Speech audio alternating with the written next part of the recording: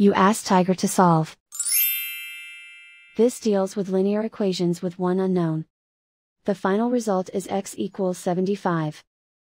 Let's solve it step by step. Isolate the x. Multiply both sides by 5. Group like terms. Multiply the coefficients. Simplify the fraction.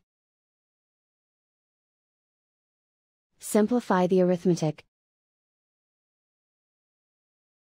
And so the final result is x equals 75.